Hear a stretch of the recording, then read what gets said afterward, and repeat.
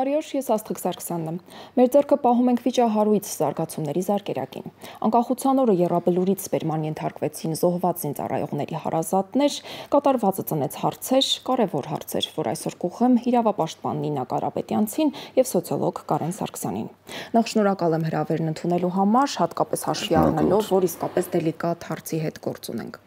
Տիկին Կարապետյանց, սկսենք ձեզնից, որքանով էին ոստիկանության գործողությունները իրավաչափ կամ ընդհակառակը ռեպրեսիվ։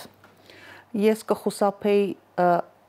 տվյալ դեպքում խոսել բացառապես միայն օրենքի տարին համապատասխանության մասին, թեև ես գտնում եմ, որ խաղաղի հավաքը եղել է խաղաղ, խաղաղ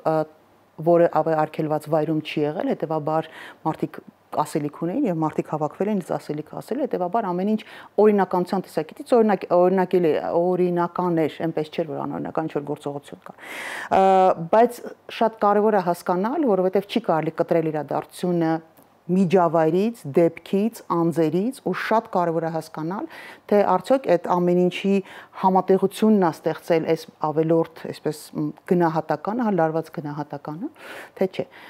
Մենք խոսքը գնում է Եռաբլուրի մասի, որտեղ նահատակված են մեր հերոսները, խոսքը գնում է այդ նահատակված հերոսների ծնողների մասին, որոնց նկատմամբ բռնություն ա կիրառվել, եւ խոսքը գնում է մի իրադարձության մասին, որը ըստ էության կանխատեսելի էր, որովհետեւ սա առաջին նման դեպքը չէր մի քանի ժամանակ առաջ, պատերազմից անմիջապես հետո նորից նմանատիպ մի միջադեպ էր եղել եւ ըստ էության կանխատեսել էր, որովհետեւ ես չգիտեմ, բայց խոսակցությունները նոր ինձ էլ ասեցին եթերից առաջ, որ ծնողները այնտեղ եղել են ուշ գիշերվանից, այսինքն այնտեղ արդեն իսկ եղել են ու գոնե անվտանգության ծառայությունը, գոնե արողակարգային ծառայությունը հաստատ պիտի իմանար դրա մասին։ Հետևաբար աներ իշխանությունը կամ անվտանգության ծառայությունը, որպեսզի ճիշտ լինի։ Գտնեին ավելի այլ տարբերակ կամ որը որը որ չէր տանի բախումների, որովհետև կներեք բռնության ենթարկել զոհված զինվորի ծնողին, որpիսի հետո խոնարվել զավակի զոհված, ինձ համար այդեղ այդ բարոյականության մաղով մաղելուց հետո իմաստն ակորում այդ ամբողջ գործողության։ Էնպես որ պիտի տարբերակներ մտածեին, որպես տարբերակ թող առավոտյան, չգիտեմ, ելույթ ունենան հանդես գար կոչով, ճառով կամ չգիտեմ ինչ-որ տարբերակով, այլ ժամի գնար։ Թող գային կանգնեին ոստիկանությունը, այսպես փակեն տարածքը, որովհետև անվտանգության, այո, առաջի դեմքի անվտանգությունը պիտի ապահովված լինի, դա դա խնդիր չի։ Թող փակեն տարածքը նախորդ գիշերվանից, թող փակեն Այսինքն թույլ չտային, որ ծնողները մուտք կործեին երաբանուր։ Այո, նրա վարչապետի այցից հետո թող նոր բացեն ճանապարհները, ինչպես որ օրինակ ժամանակին արվում էր ծիծեռնակաբերդ էինք բարձրանում, մինչև որ իշխանությունները գալիս գնում են, հետո մենք բոլորս գնում ենք, ոչ մեկի համար դա տենց վիրավորական process չէր լինելու, հա։ Ու այն խոսքերը, որ ես լսել եմ նաև այդ տեսակետը, որ ասում են իբր եթե վարչապետը չգնար կամ ուժ ժամի կգնար կամ չգիտեմ ինչ կխոսեին, միևնույնն է կքննադատեին, շատ կարևոր է հասկանալ քեզ ինչի համար են քննադատում։ Քեզ քննադատում են զոհվածի զինվորի ծնողին բռնության ենթարկելու քո ճանապարհը բացելու համար, դրա համար, թե քննադատում են, որ դու ոչ արողակարգով մի քիչ ավելի ուշ ես մասնակցել այս այս այս process-ին։ Հասկանալի է։ Պարոն Սարգսյան, խնդրեմ, ոստիկանության գործողությունները իրավաչափ էին, ռեպրեսիվ էին, ինչպես է գնահատում կատարվածը։ Ես դատավոր չեմ, խնդիրը սենց է, այդ ռեպրեսիվ ինքը արդեն քրեական պատասխանատվություն է նախատեսում այսինքն դատարանը պետք է որոշի, եթե ինչ-որ մեկը իրավապաշտպանել դատի կտան, то դատարանը որոշի։ Դա ռեպրեսիվը թող պատժեն օրենքի սահմաններում։ Իրապաշտպանները չեն պատժում, բան։ Չէ, ասում եմ թող դիմեն։ Ահա։ Դատարան, դատարանը կորոշի, ասեցի, ինձ պետք չի ընդհատել կշռում եմ բառերս, դա մեկ, երկրորդ արողակարգ փոխել, որովհետև երաբլորում նահատակված որոշ տղաների ծնողներ որոշել են չթողել, դա այդպես չի։ Այնտեղ կան մարդիկ, ովքեր նահատակված ու այնտեղ ննջում են, որոնց ծնողները դեմ չեն, օրինակ, ով ուզում լինի, որ գա։ Այսինքն, եթե ինչ որ կա տրամադրությունից ելնելով մի մասը որոշումը փակել, մյուս մասը չէ։ Ես օրինակ կնախընտրեի, որ ինքը ունենար երկու ճանապարհ, մեկը ասենք կառավարական կամ հատուկ պատվիրակությունների համար, որտեղ ի վերջո ինքը մեզ մոտ արողակարգային վայր չի ծիծեռնակաբերդը մեզ մոտ պրոտոկոլի մեջ է ընդորում միջազգային հյուրերի համար, դա նորմալ է։ Եվ առավոտները փակում են միջազգային պատվիրակությունների համար, ոչ թե կառավարության։ Պաշտոնապես դա տենց է։ Այդ թվում նաև կառավարության համար։ Շնորհակալություն ընդհատելու համար առավոտները մեզ մոտ փակում են դիվանագիտական կորպուսի համար, պաշտոնապես դա տենց է։ Լավ, տեսեք հիմա վերադառնանք հիմա այս թեմային։ Հիմա ավարտեմ։ Խնդիրը հետեւյալն է որպես այս տղաները երաբլուրում իրենք հայոց պետականության համար են ընկել եւ մենք իրանց հարգում ենք ոչ թե որպես իրանց ընտանիքի զավակ, այլ որպես պետականության մեջ ներդնող ներդրում ունեցող անձ, ովքեր ընդեղ են անկախ ամեն ինչից։ Եվ պետական պետականությունը ներկայացնող անձը ով ուզում է լինի։ Ինքը ընդհանրապես պետականություն որպես Նիկոլ Փաշինյան ինչ ուզում է կարական, բայց որպես վարչապետ նման գործողություն պետքա չլինի։ Իսկ մեծ հաշվով ես դες ասեմ, նույն ռուսական ԶԼՄ-ները շատ մեծ հաճույքով դա կտարածեն, որովհետև նույն օրերին Ադրբեջանում տեղի էր ունենում բողոքի ակցիաներ մորգերի դիմաց, հա, դիահերձարանների դիմաց, որովհետև նրանց ծնողներն է պահանջում են իրենց երեխաներին։ Այսինքն մեծ հաշվով ինքը, եկեք ասենք, համընկավ որ երկու երկրներում տենց բան լինի, այսինքն ինքը միջազգայինորեն Հայաստան եւ Ադրբեջան էլի դնելու էր, եթե տարածվեր նույն մակարդակի վրա, սա մեկ։ Եվ երրորդ ամենակարևորը ես էլ եմ ասում, եթե դուք չեք ուզում ինչ որ բան արվի, դա չի նշանակում, որ դուք կարող եք ձեր ցանկությունը արտահայտել ուրիշի իրավունքների խախտելով։ Սա վերջակետ, անկախ ամեն ինչից ոստիկաններն են սխալ, եթե դա տրանապաց։ Ես իհարկե տենց չէի գործի, ես այլ կերպ կգործեի։ Ինչպես։ Ես ասում եմ լուծումը կամ երկրորդ ճանապարհ պետք, իսկ այնտեղ կա երկրորդ ճանապարհ, այսինքն եթե դա անհրաժեշտ է, կարելի է։ Այսինքն տեխնիկապես պետք է տեխնիկապես պետք է լուծել, հա, այսինքն սպասում են մարդիկ ստեղ փակ, դե փակելը ես չեմ ընկալում ընդհանրապես, ասենք թույլ չտալ, փակել, վիրավորել, բան անել։ Եվ վերջո գիտեք, եթե հիշատակի վայր է, այնտեղ ինչ որ մի կերպ պետք է հիշատակել, բայց մի բան էլ կա, ամեն մի այնտեղ մեզ մոտ մի քիչ հասարակությունը առաջագնացա, այնց չի որ եթե տղան հերոս է, իր ընտանիքի բոլոր անդամները միշտ ճիշտ են։ Ստեղ sense նյուանս կա։ Հա, այսինքն եթե, ասենք, չգիտեմ, մեկը ակադեմիկոս է, չի նշանակում, որ իր գերդաստանի բոլոր անդամները իրավունք ունեն ակադեմիայի գրադարանից անվճար օգտվելու կամ գնան հատուկ ինչ որ դոտացիաներ ստանան։ Իմիջիալոց լուրեր են շրջանառվում, որ ծնողներին սադրել են, դրթել են արկելափակել իշխանության մուտքը երաբլուր։ Հնարավոր է, չեմ բացառում։ Ասենք հասկանում եթե մարդը տեսնում եք այստեղ։ Իհարկե տեսնում, եթե մարդը սրտնեղված է իր էմոցիոնալ ընդհանուր ֆոնը կարմիրի մեջ, հա, իրան բավարար է ցանկացած երկու բառով, հա, հանել բան, դե ասենք դրանից օգտվում են բոլորը։ Բոլորը օգտվում են։ Բա ինչ եմ ես ասում, մենք ինֆանտիլ ազգ ենք, ով տեղից վերակենում, փորձում է մի պանիկա գցի, մի խոճապ տարածի, մի բան անի, ժողովուրդը մեծ հաճույքով դա սպառում է եւ դրանով գնում է առաջ, անկախ էս հարցից։ Այս հարցը լը մի կողմ դնենք։ Այսինքն ցանկացած հասարակության անդամ որոշում կայացնելուց, քայլ անելուց առաջ որ մի հատ ուղակի սթափ նստի սառը մի բաժակ ջուր խմի, ասի ինչի են ուզում որ ես սենց անեմ կամ էս անելով ես ուր եմ գնալու։ Մենք կարող է շատ ավելի արագ զարգանանք, արագ տեմպերով նորմալ հասարակություն դառնանք, դա հարցը։ Ես դրա համար եմ ես էմոցիոնալ մոտեցումների ամենամեծ թշնամին եմ հասարակ հասարակության մեջ։ Մեծ ամբող հավաքել ես դրա ամենամեծ թշնամին եմ որտեվ եթե մարդը ամբողի մեջ է, այսինքն չի հասկանում ինչի է եկել, հա, ինքը դառնում է մանիպուլատիվ, ոչ թե կառավարելի, այլ մանիպուլատիվ։ Իրան կարելի է ասենց ողջևորված տակ ճարով հանել ինչ ուզում անի, ասենք վնասն է ինքը իրան։ Կոնկրետ հիմա մարդիկ ինչի հասան։ Եթե ոստիկանությունը ընդունենք, չեմ պնդում, բայց ընդունենք ուժա կիրառել։ Բայց ինչի համար է ոստիկանությունը ուժ կիրառել։ Եթե դու հանգիստ կանգնած լինես, ոնց որ օրինակ նորմալ արևմտյան երկրներում սովորացնում են ոստիկանին ընդհանրապես մատով կպնելու իրավունք ոչ մեկ չունի որպիսի ոստիկանը ուժ չկիրառի Այդ մասին էլ դեռ կխոսենք, նկատի ունեմ այն մասին, թե ժողովրդավար հասարակությունում ոստիկանի վարկագից ինչպեսին պիտի լինի, ինչպեսին պիտի լինի ցուցարարինը, բայց Տիկին Կարապետյանցի, եթե փորձենք հարցին օբյեկտիվորեն նայել, ոստիկանությունը փորձել է թույլ չտալ, որպեսզի ընդհատվի պետական արարողակարգի ընթացքը։ Եթե հուզական կոմպոնենտը սա անելը շատ դժվար է, ես հասկանում եմ, բայց եթե փորձենք հուզական կոմպոնենտը մի կողմ դնել, խնդիրը իրավական հարթության վրա է, անհամաչափ ուժ է կիրառվել, թե բարոյական հարթության վրա է, այսինքն խնդիրը գուցե այն է, որ ուժը կիրառվել է զոհված զինծառայողի հարազատի հանդեպ Ոչ, ես կարծում եմ, որ այս իրավիճակում առհասարակ ուժ չպիտի կիրառվեր,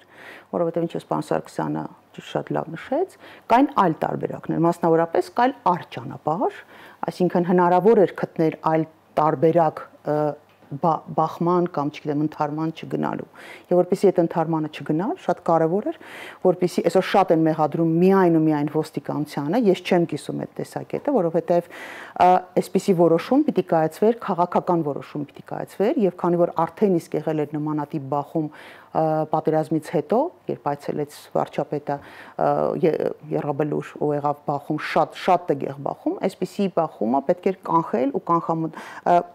լուծումներ գտնել, որովհետև իշխանությունը լուծումներ գտնելու համար է։ Իշխանությունը իր համար մաքսիմում կոմֆորտ կամ մաքսիմում անվտանգություն ապահովելու համար չի։ Ինքը նաև դժգոհ ցայներ լսելու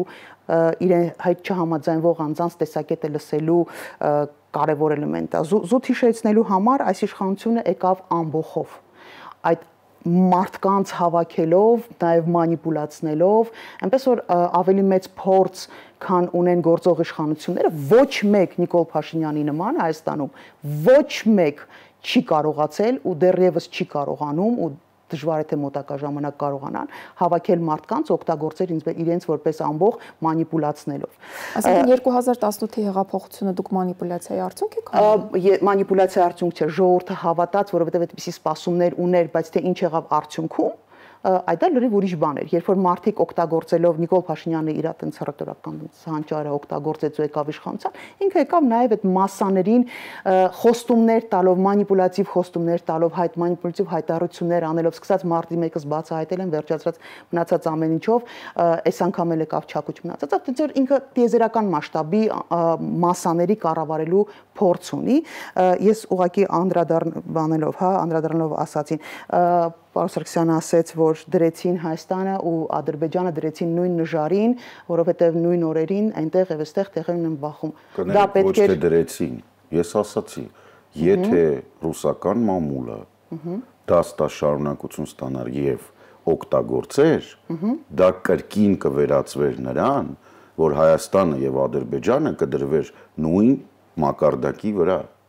որpիսի խուսափել այդպիսի իրավիճակներից, որ որևէ տարբերակում հնարավոր լինի Հայաստան ու Ադրբեջանը դնել նույն մակարդակի վրա, որովհետև մենք էականորեն իրարից տարբերվող մեր ամեն ինչով իրանցից տարբերվող երկիր ենք, ուղղակի պետքա առիթներ չստեղծել բարբերաբար տարբեր հարթություններում չստեղծել այդպիսի հնարավորություններ, որոնք հնարավորություն կտան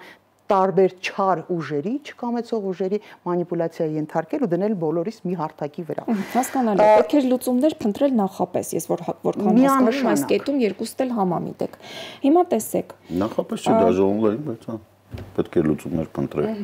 Առհասարակ իշխանությունը լուծումներ փնտրելու համար։ Կարելի է կանխել։ Ես առնվազն կանխման կանխման ձևեր կարող եմ մի քանի հատ ասել, բայց Համեցեք։ Դե դերաստի այլ ճանապարհ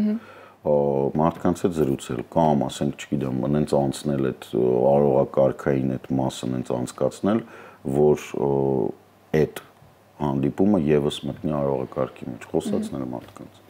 Դու վնանց չկնի, Մակրոնին մի երկու անգամ ապտակել են, հետո ինչ դրանից իրավարկանիշը չի իջել։ Այսինքն չեմ ասում որ ապտակեն։ Ուրիշ հարց է որ եթե Իսկ Մակրոնն ապտակել օքեյ է, բայց Չէ, չէ, չէ, լսեք, եթե անվտանգությունը տեղյակ է եղել, որ հրահրված է այսինքն եթե անվտանգության համապատասխան ստորաբաժումները տեղին իմ, իմացել են որ օքեյ մենք գիտենք մի քանի հոգու 10 20 50 էական չի եթե մեջները կա եղել է 2-3 հոգի ում մասին իրենք տեղեկացված են եղել որ կարող է վտանգ անցնի ասենք կարմիր զոնա հա օրենջը անցնի այնտեղ իրանք իհարկե պետք է ուր կիրառեն Սա էլ է բան հասկանում եք, երբ որ դրա համար եմ ասում, որ դուրս ես գալ ինչ որ միտեղ, ինչ որ մի գործողության, բայց չես հաշվարկում, ապա դու քեզ վրա վերցնում ես ռիսկեր։ Եթե դու փորձում ես փակել երկրի ղեկավարի արողակարգի ընթացք ընդհատել կամ, չգիտեմ, ինչ որ դեմը փակել կամ ինչ որ գործողություններ կամ գրպանից անհաջող հանես ինչ որ մի բան, պետք է հասկանալ, որ եթե դու շատ արագ գրպանից այդ մի բան հանես, դու կարող ես հանգիստ փամփուշտ ստանաս։ Իսկ Ամերիկայում փամփուշտ կարող ես ստանաս նույնիսկ այն պահին որ դրեցիր ձեռքդ գրպանը։ Փառք Աստծո, մեր մոտ փամփուշտ չեն ստացել, ընդամենը ծեծել են սպանված զինվորները։ Այո, այո, այո, սարկազմով պետք է ասել։ Շատ մեծ սարկազմով, որովհետև այսպիսի բան ես չէի սպասի։ Իշխանությունը ունի բոլոր լծակները, վերահսկելու եւ պարտավորություն ունի կանխատեսելու նման իրավիճակները։ Այո, երկրի ղեկավարը անկախ անձանցից պիտի պաշտպանված լինի եւ նրա անվտանգությունը պիտի ապահովված լինի։ Բայց դա չի նշանակում, որ կարելի է ոչինչ չանել կանխելու համար, կանխատեսելու համար, որևէ միջոց չձեռնարկել, գալ փաստացի կանգնել դեմ առ դեմ, հետո քաշքշելով մարդկանց տեղից հանել։ Սա նշանակում է, որ որևէ բանի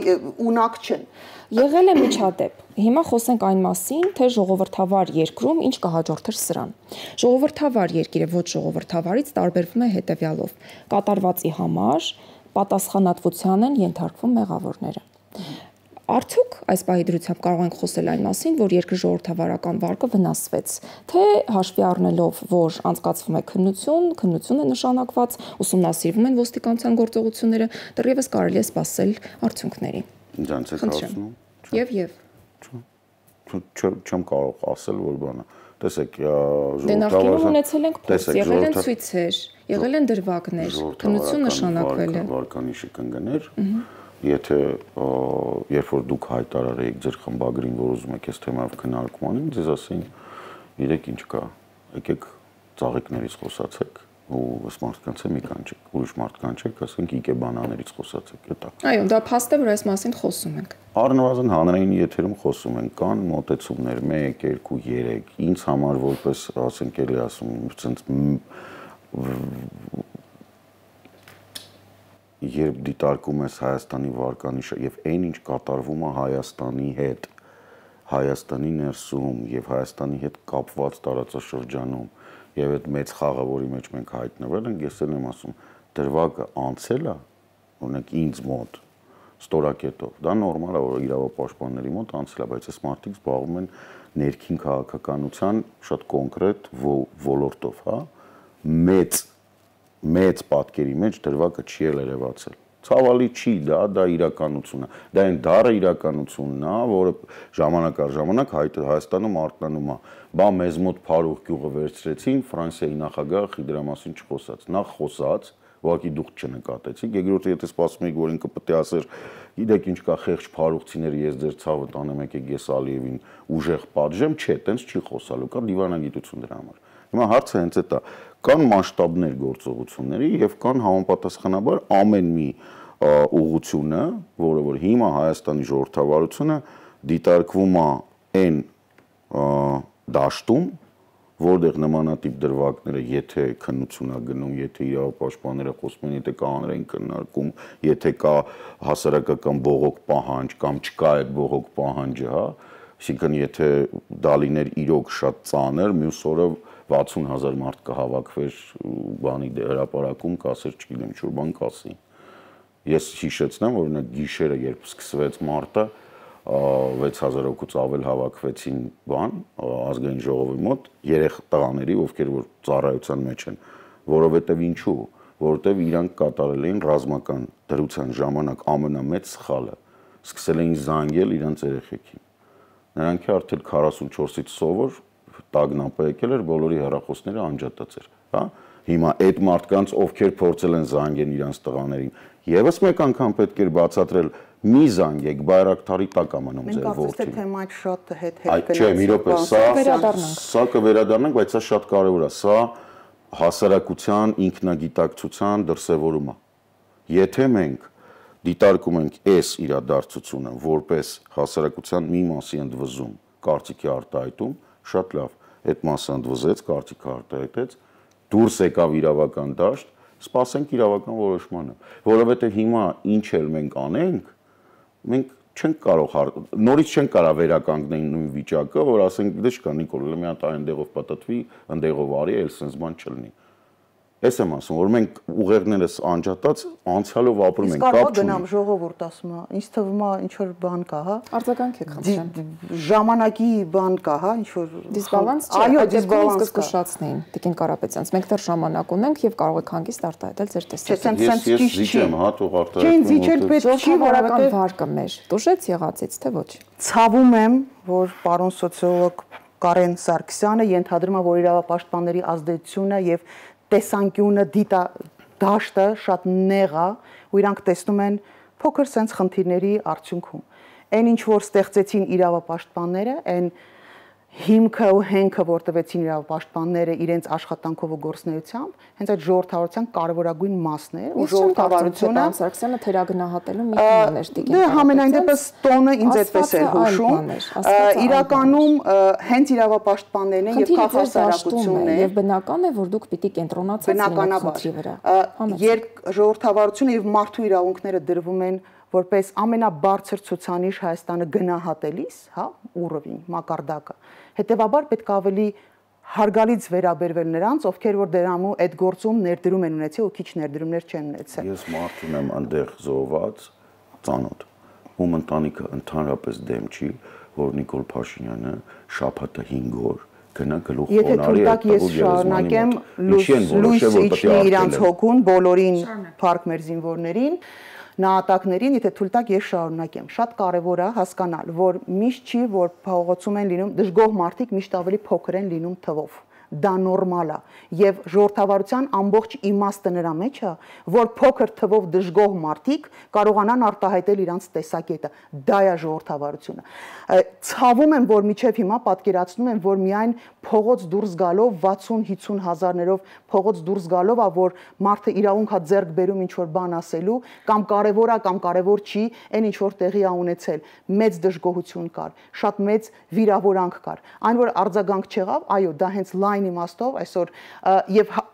նաև իդեպ այսօր մեղադրում են բացառապես միայն միայն ոստիկաններին ես չեմ կիսել այդ տեսակետը եւ չեմ կիսում այդ տեսակետը ես կարծում եմ որ այստեղ ով է պատասխանատու քաղաքական իշխանությունն է մեղավոր ուղիղ իմաստով, որովհետև ունենալ 4 տարի աչքի առաջ հասկանալ parberabar փոխել ոստիկանապետեր ու տեսնել, որ անընդհատ կրկնվում է նույն իրավիճակը, անընդհատ նույն խնդիրները ունենք, որովհետև այս դեպքը միակ դեպքը չի, երբ ոստիկանները բռնություն են կիրառել։ Այս տիպի գործողություններ, բռնության անհամաչափ գործողությունների, խոշտանգումների, եթե պարոն Սարգսյանը չգիտի, ես տեղեկացնեմ, բազ որպես իրավապաշտպան կազմակերպություն զբաղվում բազմաթիվ ներողություն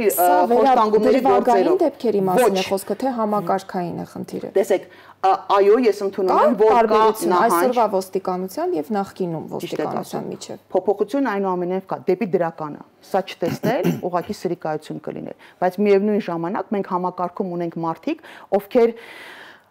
աշխատանքի ձև են բնույթ են գտել մարդկանց խոշտանգումներով զբաղվելը բռնության ենթարկել։ Այս նույն կարմիր բերետավորների մեջ կային մարդիկ, ովքեր 2008-ին են մարծեցել, Դրանից է 15-ին էլեկտրիկ Երևանում են մարծեցե, Սարի թաղում են մարծեցե։ Երբ որ դու նպատակ ես դնում բարեփոխել եւ հայտարարում ես, որ քեզ պետք է դու գնում ես ժողովրդավարության ճանապարհով, մարդու իրանքները հարգելու ճանապարհով, առնվազն գոնե դու համակարգից պիտի հեռացնես նրանց, ովքեր որ այդ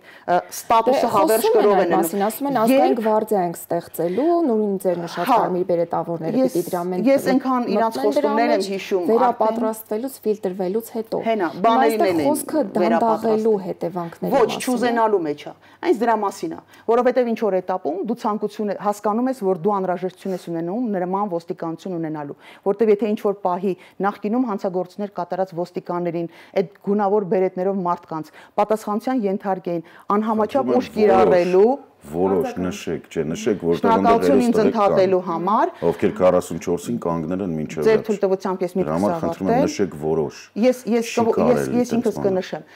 Կան մարդիկ, ովքեր որ բռնության են ենթարկել նախկինում, դրանց վերաբերյալ կան քրեական գործեր հարուցված, որոնք որ քնեցվեցին, կասեցվեցին եւ որևէ լուծում չտա։ Արդյունքում մենք ունենք իրավիճակ, որ այս նոր ոստիկանությունը, որը ստեղծել է բարեկային ոստիկանությունը, ոչինչ չի հուշում իրեն, որ վարկագիծը ճիշտ վարկագիծը որ որն անգամ եթե վերապատրաստեն, շատ վերապատրաստեն։ Միևնույնն է իրենց համար ցուցանիշ առնելու Ստեփանավան օրինակ ճանապարհին բռնության ենթարկած ոստիկանապետը, այդ այդ տարածքի ոստիկանապետը, որ ասում էր ոդքերիդ կկրակեմ, գլուխդ կջնջխեմ, չգիտեմ ես ինչ կանեմ, այնքան ու ինքը շարունակում է ոստիկանության մեջ Բարեկամ նկատելի են այն խնդիրները, որոնք դուք հիմա նկարագրում եք։ Ես ցավում եմ, որ միջև հիմա մեր հասարակությունը չի լսում։ Նիշը բարեկների համար նախորդ կոռումպացված կամ խոշտանգող ոստիկանի կերպարն է։ Որովհետև մենք այսօր արդեն ունենք մենք ունենք ոստիկաններ, բարեկային ծառայությունից ոստիկաններ, որոնց վերաբերյալ գործեր կան հարուցված կոռուպցիայի հետ կապված, այսինքն բանը խնդիրը ունեցե, եւ ունենք ոստիկաններ բարեկների մեջ, որոնք որ վերաբերյալ քրեական գործեր կան հարուցված խոշտանգման գործերով, որովհետեւ իրենք տեսել են, թե ինչպես են այս բերևետավորները տարբեր տեսակի գույնավոր կրողներից որոշ մարդիկ անպատիժ մնացել, ավելին նոր հեղափոխությունից հետո այս իշխանության ժամանակ ստացել են ավելի բարձր պաշտոններ, ստացել են ավելի մեծ ու աստղերով ուսադիներ, հետեւաբար ոչինչ չի հուշում, որ գնում են փոփոխությունների։ Ինձ մոտ տպավորություն է ստեղծվում Տիկին Կարապետյանց, քանի որ մեր եթերաժամանակը սպառվում է, պարոն Սարգսյանն էլ խոսքի հնարավորություն տանք եւ ամփոփենք։ Տպավորություն է ստեղծվում, որ ոստիկանությունում այս ամբողջ ընթացքում, չնայած այն ամբողջ դիսկուրսին, հա, որ փոփոխություններ են գնում, բարեփոխումներ են արվում, ոստիկանության մի ամբողջ առանձին ճյուղ է ստեղծվել, այնուամենայնիվ ոչինչ չի փոխվել։ Դուք կիսում եք այդ տպավորությունը։ Ես ասած ասեմ, բարեկային ծառայության ստեղծումը ակնհայտորեն աչուտ բոլոր ոստիկանական ռեֆորմները, որը 18 թվականից սկսեցին, ես շատ լավ գիտեմ, որտեղ Ուկրաինայի փորձը կոպիտ ասած շատ եմ ուսումնասիրել, դա նույն սկզբից Վրաստանում այդքան էլ հաջող չէր, հետո Ուկրաինայում բավականին հաջող եղավ եւ նույն սա ԱՄՆ-ի ծրագիրն է, այսինքն իր հովանու ներքո է իրականացվում ես վստահ եմ, եթե տենց դեպքերի մասին կոպիտ ասած, sense հանրորեն հայտնի իրանք էլ են տեղյակ, որտեղ մեծ հաշվով ֆինանսավորման զգալի մասը նաև ԱՄՆ-ից է գալի եւ իրենց անմիջական ղեկավարության տակ է process։ Բարեկային ոստիկանության հետ կապված ճիշտ ասած ես չեմ լսել, որ իրանք ուժ կիրառեն,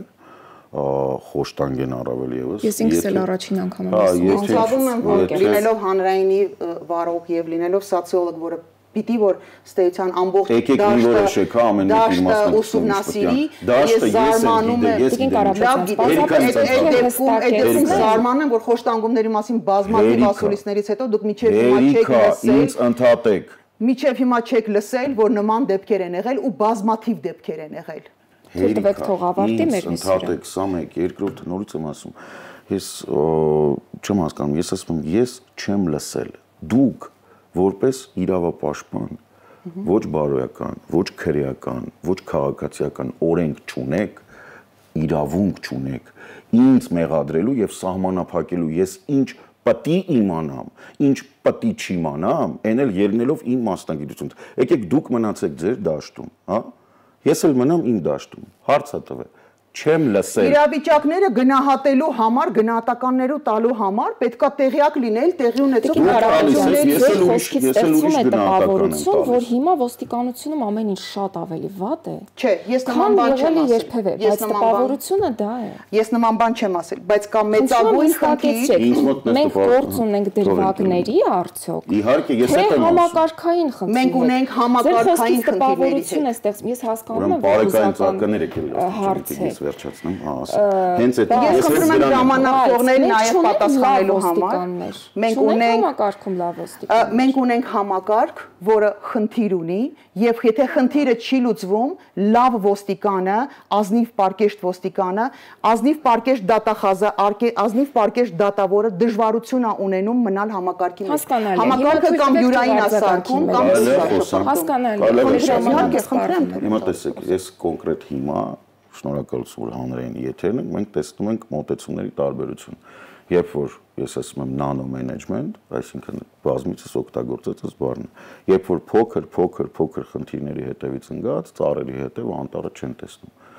Անտառը ո՞րն է։ Անտառը հետևյալն է, համակարգային տեսանկյունից մենք մենք մի համակարգից անցնում ենք մյուսի հետ խորթային կամ խորթային համակարգից անցում ենք անցում ենք շրջանն է, որը որ մենք բավական երկար ու ծանր դեռևս անցնել ենք Հիմա parza բարեկային ծառայությունը ստեղծվել է, սա առաջի փուլն է։ Երկրորդ փուլն է լինելու, որը ելի ինչ որ գործողություններ է բանանելու, իր մեջ նախատեսելու։ Մենք այս ընթացքում միշտ ունենալու ենք մարտիկ, ստորաբաժանումներ, չգիտեմ, օրենսդրական ակտեր, որոնք խանգարում են այս ամեն ինչը, դա նորմալ է, համակարգը անցնում է, հա, անցում է կատարում մեկից մյուսը։ Հիմա ես ուղղակի ուզում եմ տենց արձագանքեմ ոնց բանով, որ եթե սրանից մի 10 տարի առաջ լիներ, այս Ստեփանավանի դեպքը նշելուց, շատ հնարավոր է որ դուրսը կանգնածել էր արդեն երկու հատ ջիպ Cherokee սև ապակիներով եւ հարգելի իրավապաշտպանը ունենար լուրջ խնդիրներ։ Այսինքն դուք լուրջ եք ասում, կարծում եք որ սրանից 10 տարի առաջ մենք այդ դրա մասին չենք խոսել։ Դուք դուք էլի էլի ինֆորմացիայի պատասխան Մեր հուզական մթնոլորտում քննարկեցինք կարևոր հարցեր, որոնք վերաբերվում են թե իրավապահ համակարգին, թե զինված զինծառայողների հարազատներին, թե բոլորիս որպես հասարակություն։ Կհանդիպենք։ Thank you